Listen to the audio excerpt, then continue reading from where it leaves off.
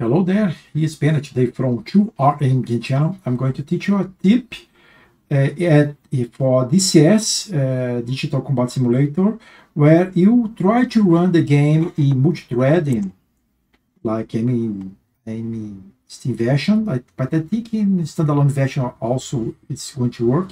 And you try to run and the game freeze, okay? I'm going, I'm going directly to the solution. Okay, just a second.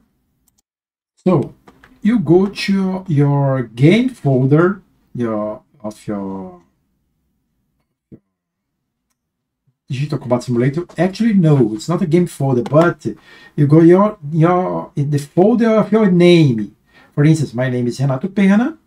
Okay, uh, and you go to the saved games. Okay, DCS, and uh, you have two folders. Okay, you have uh, FXO and the MetaShader 2.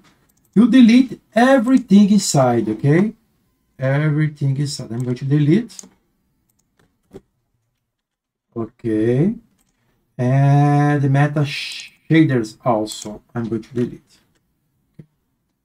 And now, if you try to run the game, let's run. It's going to run here in VR, no problem. Hello, I'm back. If you see, I'm with uh, I'm running uh, DCS. It's it works perfectly.